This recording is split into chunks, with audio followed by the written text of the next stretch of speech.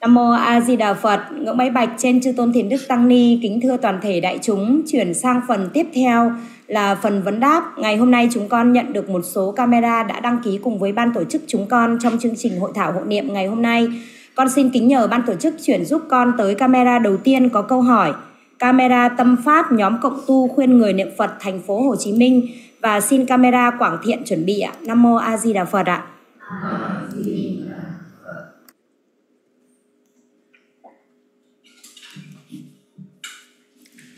Dạ. Nam mô a di đà phật. Kính bạch chư tôn thiền đức tăng ni từ bi chứng minh. Kính bạch thầy giữa âm tịnh hải.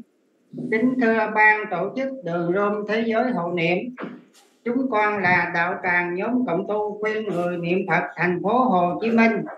Con là phật tử tâm pháp có câu hỏi nhà con thờ phật trên tầng lầu 2 có thờ hình tượng phật tượng tam thánh tượng phật a di đà ngũ màu ngũ sắc màu đỏ hình phật cũng màu đỏ xung quanh hình phật màu đỏ hết. Dưới tầng trệt nơi phòng khách tượng màu phật màu vàng thân kim sắc. Các hình treo xung quanh đều màu vàng. Nam mô a di đà phật. Con kính thưa thầy. Diệu âm tịnh hải con thờ như thế có đúng lý, đúng pháp không ạ à? để sau này chúng con có phước phần vãng sanh tây phương cực lạc con thành tâm cung kính chân thành tri ân thầy ạ à. nam mô a di đà phật A Di Đà Phật. Báo với à, bác à, tâm pháp và bác thờ như vậy là tốt lắm, không có gì. Bác trang trí phòng thờ như vậy là hay lắm. Cái điều quan trọng là, nhớ nha bác nha. Nếu thích hình Phật nào, một hình Phật treo chung quanh là tốt nhất. Nghe bác nha.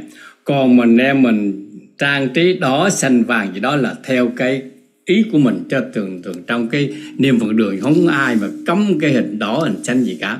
Mà nếu chúng ta nếu mà ờ, làm mà đỏ xanh nhiều quá thì nó lè lẹt thì mất công sửa chữa bác cứ việc làm đơn giản như vậy là được rồi. Tức là làm sao chung quanh cái tường chúng ta cứ một hình vật chúng ta treo để mà cái gì cũng nhất hết trơn.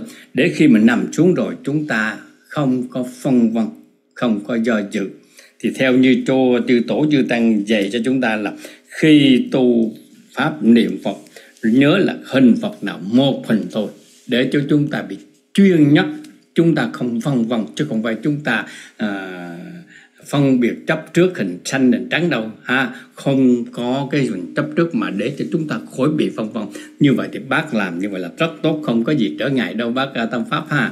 A di đà phật. Nam mô A Di Đà Phật. Chúng con xin cảm niệm tri ân công đức của thầy Diệu Âm Tịnh Hải.